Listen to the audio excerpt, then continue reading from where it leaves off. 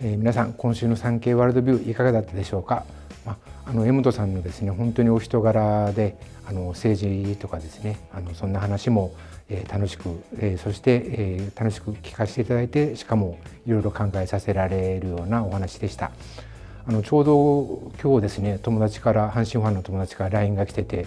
あの新庄がさんが監督するんだったら私は江本さんの監督が見たいよっていう LINE が来ててでもうもう喜びさんでこれから一緒に写真江本さんと一緒に写真撮ってもらって送送りつけてやろうと、えー、思っておりますそれでは参りましょう、えー、今週のアネックスですどうぞどうもお疲れ様でございました。どうもありがとうございました。どうも。大先輩を前に私も結構緊張。いやいやもうととんでもないとんでもないです。本当でもあのもう先ほどちょっと小島さんもありましたけどね、小島さんの言葉にもありましたけど、お人柄がいやもう本当改めて伺いすることができました。ありがとうございます。本当に。あのお M さんの本のね今日あの紹介させていただきました、はい、これ己も国も自信を持たなきゃってと本当国が自信を喪失してるってことはこれもう本当私はもうこの今生きてる人間ではなくてこれからのやっぱりこう日本人にですね、はい、マイナスの僕はその影響があるということで、はい、もう一日も早くこの自信を取り戻すことを国がやらなきゃならんと思ってます。で同時にですねその今のそのためには教育をしっかりとせにはならんと思うんですよね。で私はやっぱりこう江本さんの江本さんのお名前をポンと聞くと、まあ、割と少なからぬ方々が、はい、ベンチがアホやからって はい、あの言葉を皆さん思い出されると思うんですけど、はい、これはあの簡単に言うとどういうことだったんでしょうか？まあ、巷ではその言った言わないがどうだとかいうのもありましたけど、はい、あの野球選手ってあのこうはけ口がいるんですよその失敗した時のね。はい、で割とロッカールームのそばなんていうのはね、はい、あのまあ、仮にノックアウトされて交代になってで、まあ、まあ上がっていいよっつってロッカーにこう入る時なんかはね、まあ罵詈雑言もうめちゃくちゃアホなのボケたの言いながらね。で自分に腹立たしくその、まあ、発散するためにやるわけですよね。だけどたまには人のことも言ってしまうという ベンチは何考えてんだと。もうあかんのベンチはダメだと。あの今日の作戦、まあ、要するに自分を使う時のね作戦が悪すぎてあの冗談じゃないよっていうような思いもあったりしてね。その暴れる場所があるんですよ。ロッカールームに入る場所が。で普段はまあマスコミ書かないんですけどまあシーズンが終わりかけになってまあ誰か責任を負わしちゃおうかなんて言って内紛でも起こさせようというような意図があると、ちょっと言ったことをわーっとこう書いたりするっていうまあそういう癖はあるわけですよね。はあ、だからまあそれ分かっていながら実はまあその試合はねあの一番大事なところで、たまたま監督さマウンドにみんな集まった時に監督の指示を得ようとしてでパッとこうベンチを見たら普通は出てくるんですけど。後ろにスーッと引っ込んでたんですよ。これあんたここ一番災害振るう場面じゃないですかって監督として。はい。はい、で僕らの生活がかかってるわけですから。はい。もうそうそう、ね、失敗してもいいから、ええ、やっぱここで、えー、敬遠しろとか、まあ、私は投げてましたから敬遠しろとかもうお前変われとか、えー、相手と勝負しろとかいう指示を出さなきゃいけない場面なんですよ。これが後半の 7, 7回以降の監督の唯一仕事なんですよ。はい。あの監督の仕事ってね前半いらないんですよ 前半がいらないんですよほとんど、はい、あのメンバー表に名前書くだけで十分なんですよ、はい。はい、7回から ここ一番っていう時の采配を振るためにいるわけです、はい、でそれが責任をやっぱり持たなきゃいけないわけですよ、ね、はい、勝敗の責任とかでその時にねなんかもうその曖昧でそのすごすごっとこういなくなったので中途半端な結果になってしまったんですよその後。でそれがそのベンチ帰ってきて、えー、まあ上がりでもそのまま交代で上がろうとした時に私はそのローカールームで暴れ部屋でわーってやってしまったのが、まあ、翌日ベンチがアホやから名前野球できるか？とか言って それで結局。ものすごい印象的に長く使われてる言葉ですよね。ままあねあの別にその当事者の人と仲が悪かったわけじゃないんですよ。なかったわけじゃない、はい、ね、やっぱりでも立場があって、はい、その選手なんてのはやっぱり監督のまあなんか指示一つじゃないですか、はい、もう本当に生活かかってるわけですから,、それぐらいの責任持って何でも指示するするなり采配振るうなりねしてくれよっていう思いがやっぱり強かったんですよ。それが意外と曖昧な人でしてね、えー、まああの人のいい人だったんですけど、はい、まあ人がいいからやっぱりそういう時にこうなんかね中途半端になるんですよね。私長年のこの疑問今初めて解けました。そうですか。そういうことだったのかというのが分かりました、今。はい。でもやっぱりねその指揮官先頭といいますかやっぱり指揮官が、う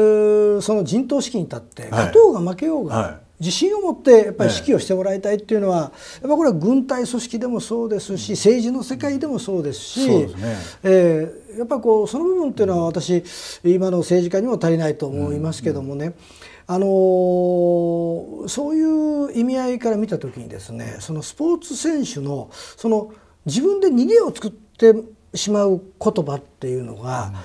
うん、あどうもあるような気がしてならないんです。で、ね、あのやっぱりこう国際試合とか、うん、日の丸を背負って戦う時に、うん、えー、そのみんな今度は国民はもうみんな期待して、はい、絶対金メダル取ってくれよと、うん、優勝してくれよと思うのに、うん、なんか自分流とかね、はい、なんか自分が楽しめればいいとか、楽しんできましたとかなんかなと思って。最近スポーツ選手のねアホの一つ覚えなんですよ。やっぱりアホですか？アホです。あんなもの楽しむってね、はい、あのプロスポーツというのはですね、はい、見てる人は、はい、プロ選手が楽しくやってるのを見たくはないんですよね、はい、そうですね。やっぱり苦しんで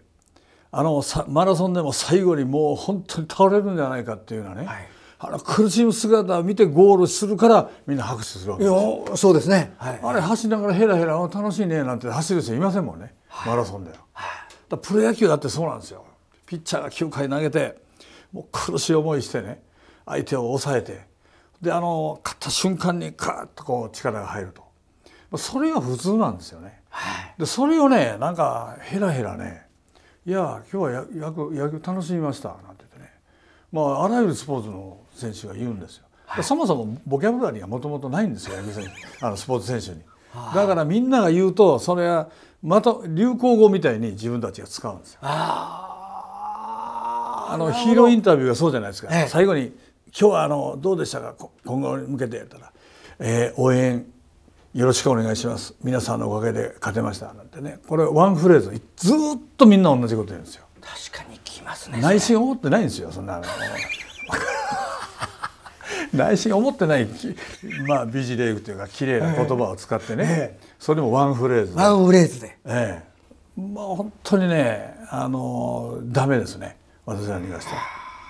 だあれはああやってその適当に濁しとけっていうのもあるしもともとボキャブラリーがないからその辺の言葉しか出ないというそれだけの話なんですよ。は